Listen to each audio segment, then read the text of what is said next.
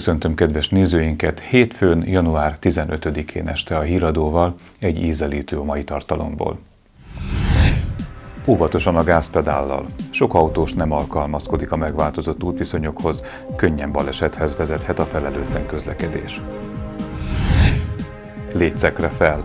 Az idei télen is sokan indulnak síelni a környező országokba, a főszezon január közepétől február végéig tart újabb rekordot döntöttek. Soha nem szerepeltek jobban, a bajai cselgáncsozók az ötödik helyen végeztek a hazai egyesületek rangsorában.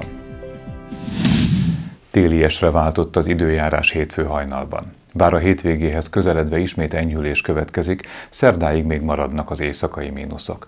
Napközben erős széllőkések és ónos eső is várható, így aki teheti, az most ne induljon hosszú útra. Hétfőn reggelre fehér háztetők és utcák fogadták a közlekedőket a városban. Az autósok ennek kevésbé örültek, a gyerekek viszont már nagyon várták a havat. Én nagyon örülünk neki, mert már így egész télen vártuk, hogy essen. Kicsit esetett volna hamarabb is szerintem, de most így nagyon örültünk neki, meg a suliba is szünetekbe kimentünk hógolyozni, meg játszottunk, úgyhogy én nagyon örülök neki. És mivel közlekedtek ilyenkor, amikor ilyen, ilyen az idő? Hát engem apukám hoz az iskolába, szóval autóval, de így gyalog. A kitartó hóesésben volt, aki két keréken vágott útnak, mások viszont az autót is inkább a garázsban hagyták, és gyalog indultak el. Részben jó, másrészt viszont nagyon csúszik. És ha gyalogosoknak ez nagyon kellemetlen egyébként, nagyon szép meg jó. Mivel szokott akkor közlekedni a városba? Hát amikor jó idő van, akkor autóval általában, de ilyenkor nem merem elővenni. Az általunk megkérdezett bajaiak közül volt, aki már reggel szerencsétlenül járt, de egy kis horzsolással megúszta. Jöttem volna iskolába szokásosan, és természetesen elestem, amilyen ügyes vagyok, és hát azonnal beértem iskolába, azonnal be kellett kötözni. De alapból szeretem a hót, szóval semmi bajom nincs vele.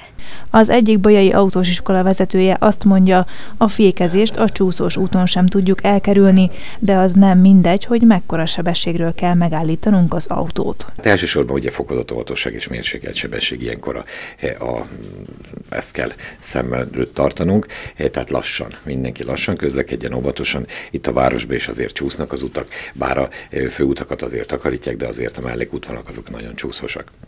Úgyhogy ezeken nagyon óvatosan közlekedjünk. Azt szoktam mondani, hogy ilyenkor a gázpedállal és a fékpedállal is, mintha szoktam mondani, a pedál és a lábunk között egy tojás volna, és az a tojás ne törjön össze, mikor nyomjuk a pedált. Az Országos Meteorológiai Szolgálat ónos eső miatt adott ki figyelmeztető sárga jelzést több megyére, így Bácskiskun területére is a keddi napra.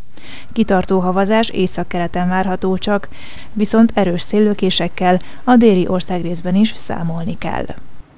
Hétfőn reggel Baját is elérte az idei tél első havazása. Délelőtt vékony hórétek fette a várost, viszont a környező országokban már több hete sportolásra alkalmas hó hullott a hegyekben. Évről évre több bajai csatolja fel a léceket, hogy hódoljon a téli sportoknak. Ausztria, Szlovákia, Szlovénia, Olaszország vagy éppen Bosznia-Hercegovina. Számtalan lehetőség áll rendelkezésre a magyarok számára, hogy melyik helyen töltsék el a téli pihenőjüket. Az elmúlt években nagy mértékben nőtt azok száma, akik síelni indulnak, a magyarok körében legkedveltebb úti célnak továbbra is Ausztria számít.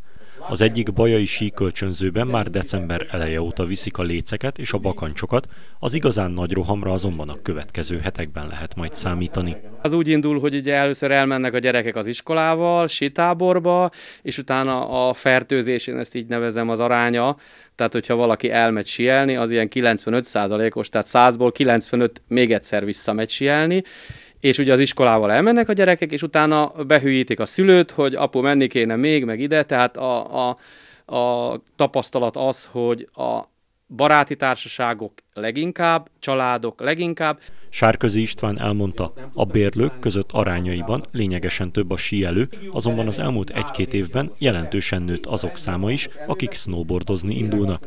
A léc és a deszka a bajai iskolások körében is népszerű, több bajai intézmény is szervez sítáborokat.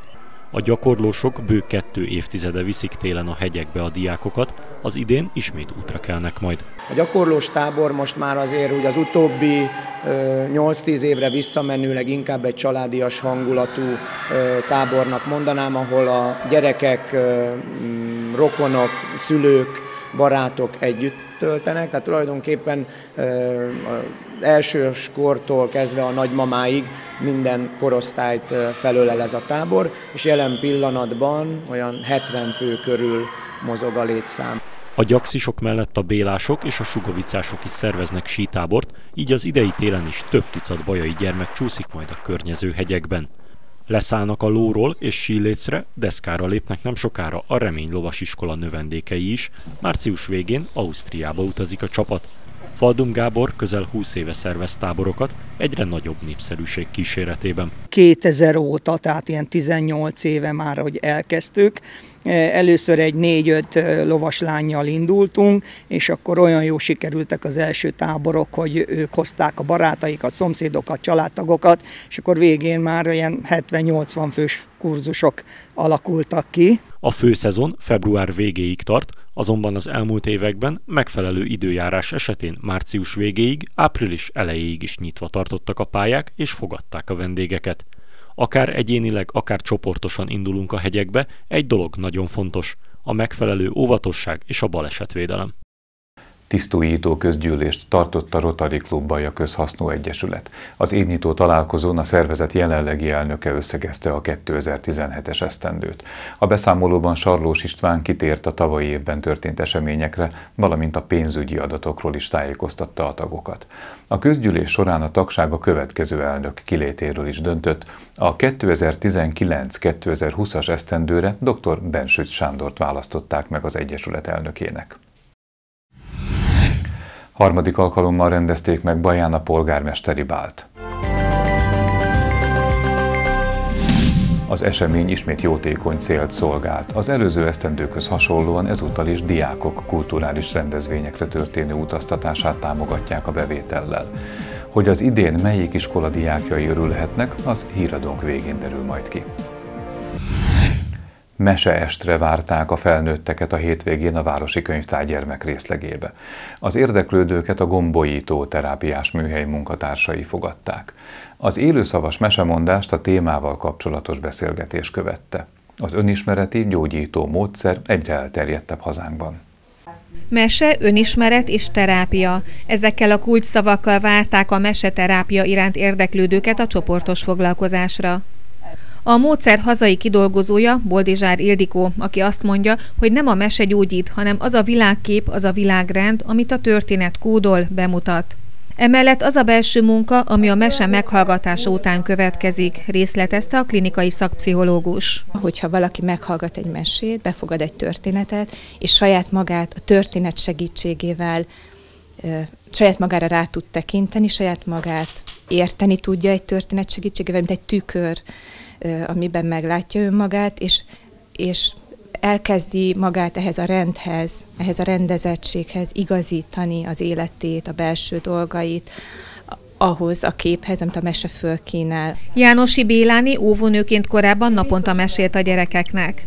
Mint mondta, azt vette észre, hogy őt magát is érdekli, ezért örült a bajai rendezvénynek. Több mesét kidolgoztam, kiegészítőkkel, és hát napi szinten benne élek ebbe, és hát mivel ez egy terápia, és hát gondolom, hogy én is nagyon rászorulok erre, úgyhogy azért is jöttem el ide. Nagy erőt és fölkapaszkodott nagy nehezen a Havashegy csúcs tetejére. A módszernek kettő ága van, az alkotófejlesztő és a klinikai meseterápia. Előbbit főleg gyerekeknél alkalmazzák. Holcsik Erzsébet azt mondta, több olyan sikerélményről is beszámolhat, hogy egy-egy csoportos foglalkozás után annak hatására valaki komolyabb önismereti munkába kezdett, és ez indította el a változás felé.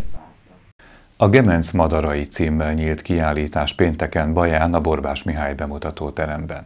Az idei év első tárlatán Mohai Sarolta fotós objektíven keresztül tekinthetik meg az érdeklődők az árterek madárvilágát.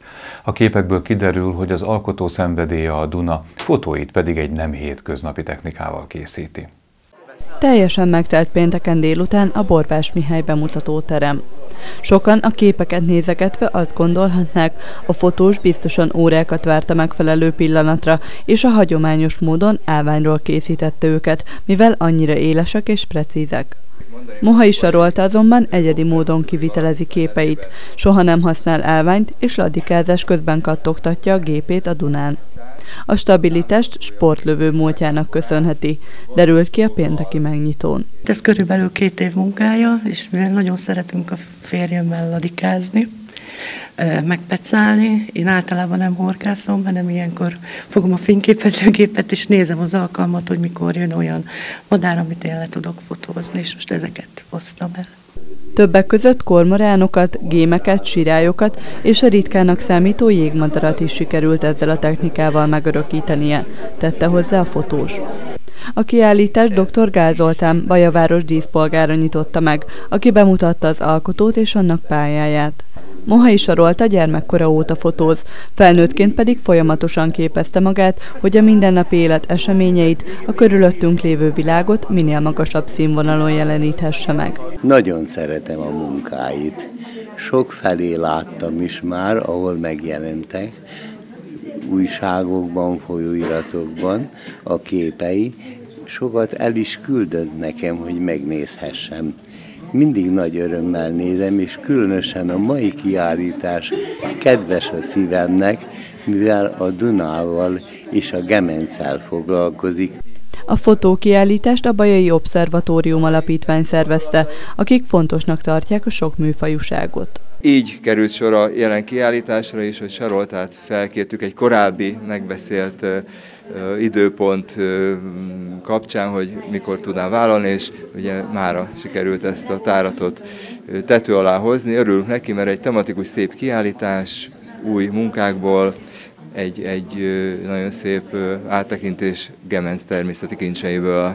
A fotós műveivel nem csak gyönyörködtetni, hanem üzenni is kíván a világnak. Képeivel a környezetvédelem fontosságára is igyekszik felhívni a figyelmet. Mi az, amit érdemes óvni, megőrizni az eljövendő generációk számára is.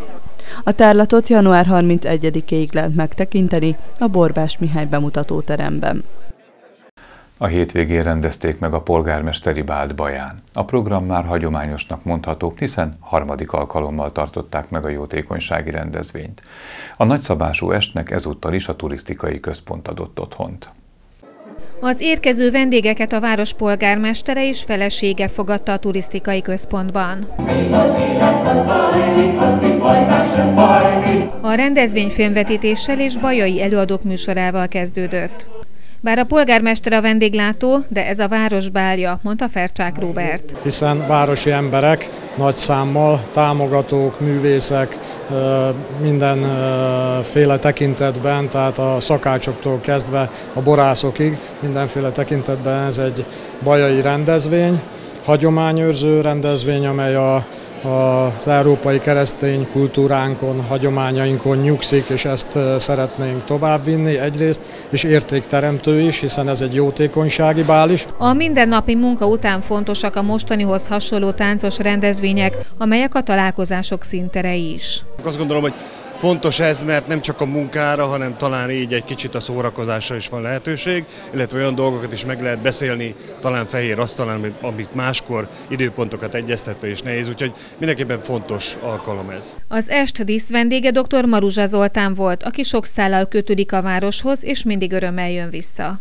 Itt Baján is, és szerte az országban nagyon sok olyan rendezvényre kerül sor, ami segít megteremteni a társadalom kohézióját, segít megteremteni a helyben élők között azokat azokat a baráti ismeretségi szálakat, amelyek egyébként a mindennapos életben is nagyon sokszor segítenek bennünket. A finom ételek, jó borok és a tánc mellett a kötetlen beszélgetéseknek is teret ad az esemény. Hát az új év után indul a báli szezon, és úgy gondolom, hogy méltó nyitása a báli szezonnak egy polgármesteri bál.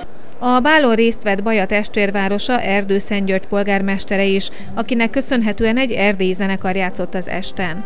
Nyitótáncként egy bicsi keringőt választottak, amikor a fellépő csoport táncba hívta a jelenlévőket.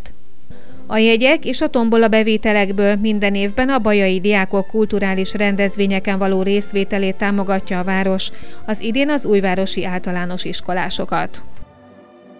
Kezdődik a sportpercek Putnik Tamás a stúdióban.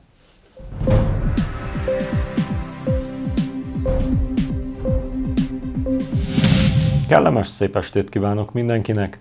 Szoros mérkőzésen szenvedett vereséget a hétvégén a Bajai NKK B csoportos női kosárlabda csapata. A lányok vasárnap este 65-55-re maradtak alul a Pécsi Pink második számú együttesével szemben. A vendégek az első félidőben 11 pontos előnyre tettek szert, és bár a Bajai Gárda a folytatásban mindent megtett a hátrány ledolgozásáért, fordítani nem sikerült. A BNKK legeredményesebb játékosa a 31 pontos Ferenc Andrea volt. A bajaiak a zöld csoport 8. helyén állnak, folytatás kettő hét múlva a Szeged ellen hazai környezetben. Idegenben sikerült nyerni a hétvégén a bajai TSM MB2-es asztali tenisz csapatának. Kácsor Csaba tanítványai a nagykanizsai Kanizsa sörgyárese otthonában diadalmaskodtak 11 hétre. A bajaiak ezzel egy hosszabb nyeretlenségi sorozatot szakítottak meg. A bajaiak számára lesz idő megemészteni a sikert, hiszen a következő forduló csak február 10-én lesz majd. Története legjobb eredményét érte el az éves egyesületi rangsorban a Mogyi Bajai Judo Klub. A bajaiak a 2017-es esztendő eredményei alapján az ötödik helyen zártak a több mint 120 klubot felvonultató pontversenyben. A BJC több nagy egyesületet is maga mögé utasított 2017-ben. Az elmúlt néhány évben fokozatosan lépdelt előre az egyesületek rangsorában a Bajai Klub, azonban a mostani ötödik helynél jobb eredménnyel még soha nem végeztek a pontversenyben.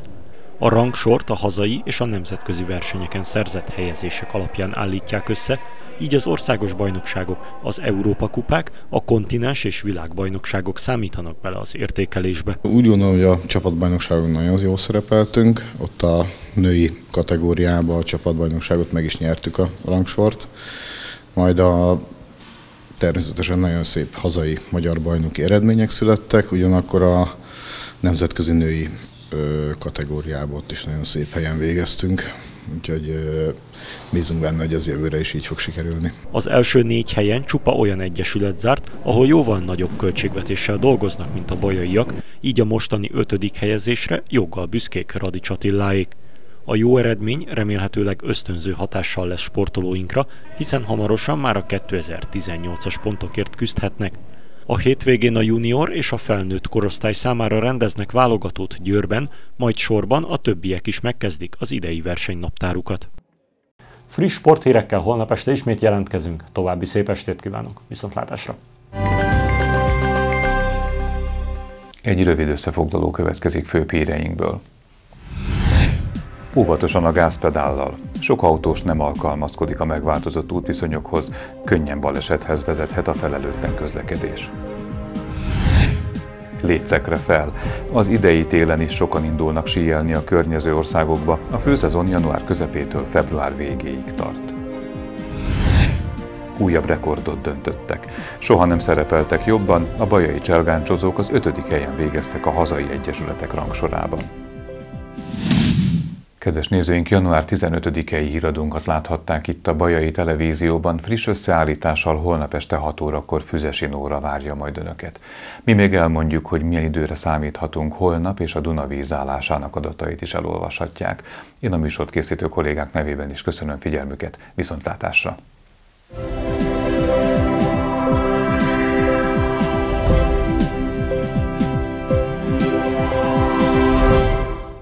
Készült a Média Tanács támogatásával a Magyar Média Mecenatúra program keretében.